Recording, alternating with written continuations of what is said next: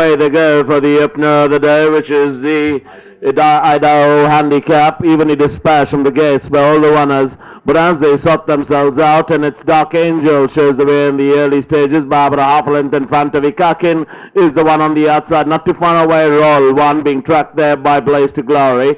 A length and a quarter away, we go back to Milford Sound, not too far away on the outside of Zara Go Zara, making headway another length and a quarter away, Star Phoenix, then we got Looking Good. A gap of two lengths away as they pass the 1,000 meter mark, and the Claret Jacket is in the night.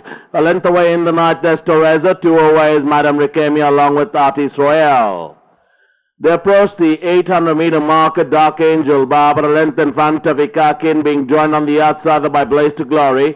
Not too far away, there's Roll One on the outside is Zara Zara in the center is Star Phoenix. A length away, there's Looking Good. Further away, Teresa. Then comes In the Night. Third last there, Milford Sound. Second last, Artis Royal. Last of all, Madame Ricamia as the stand firm. Round the turn into the straight blaze to glory. Comes in on first. Barbara half length in front of Zara Go Zara. Quickly on the outside, another length and a quarter away. There's looking good. Then comes roll one with Star Phoenix. But it's uh, blaze to glory on the inside. On the outside is Zara Zara who puts his head in front. Barbara length and a half, two lengths in front. And looking good is on the outside. But it's Zara Go Zara now from uh, looking good. It's Zara Go Zara from looking good. Zara Go Zara from looking good. Zara Go Zara for the money. Gets it from looking good. Then came Blaze to Glory. Roll one is just fourth. Then came Star Phoenix, Artis Royal, Torrezo in the night, Milford Sound, Dark Angel. Then we go back to Madame Ricamia, last of all, Ikakin.